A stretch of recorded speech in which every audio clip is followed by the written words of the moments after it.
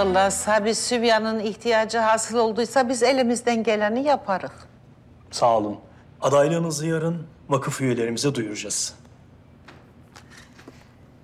Hilya da aday oluyormuş değil mi? Evet. Ama bu sefer başkan olması biraz zor.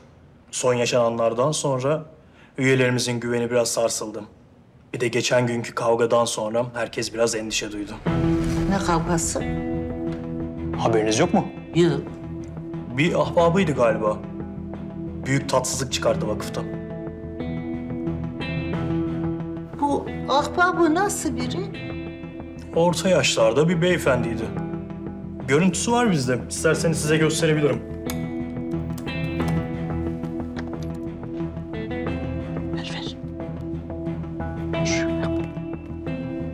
Bu yaptığım namertlik Hülya Soykan. Sen laflarına dikkat et. Kızların yok. Hapse gireceğim. Ana bu Dev Hanım'ın rahmetli babası değil mi? Niye yiyor bunlar birbirini? Yok.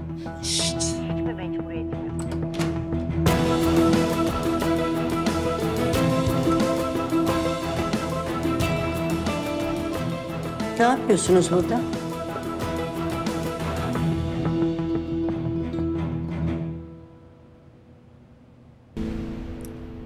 Ne istiyordun sen orada?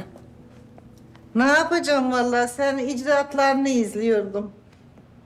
Hani bunca yılda ancak koltuğunun minderini çürütmüşsün. İyi. Sen de yandaşlarına böyle yağ, bala batır.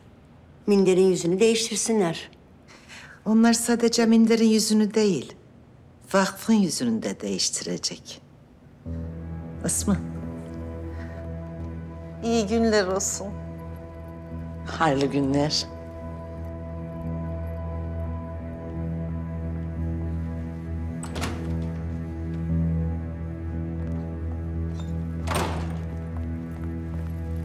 Ama kaydı niye durdurdun sen Hülya Hanım gelince?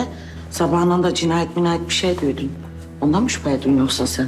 Kızım köy görünüyor artık kılavuz isteme. Bunlar birbirlerine girmişler belli. Ben devine söyledim de dinletemedim. Hülya Hanım diyorsun ha. Sabahından da o kadar paraladı kendini, kaza görüntülerini kaldırdı falan. Neyi kaldırttı? Ha bu telefonla konuştu, kanalla herhal. Dedi ki bütün dedi bu olay yeri görüntülerin hepsini dedi kaldırın dedi. Benim dedi gelinimin psikolojisine iyi gelmiyor dedi bunlar. Sen de bana bunları şimdi söylüyorsun. He? Kızım şabalak mısın sen ya? Ha ver ya.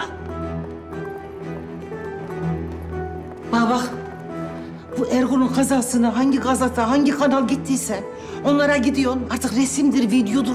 Ne olursa hepsini topluyorsun, getiriyorsun bana. Hadi. De hadi. Yürüyorum anam.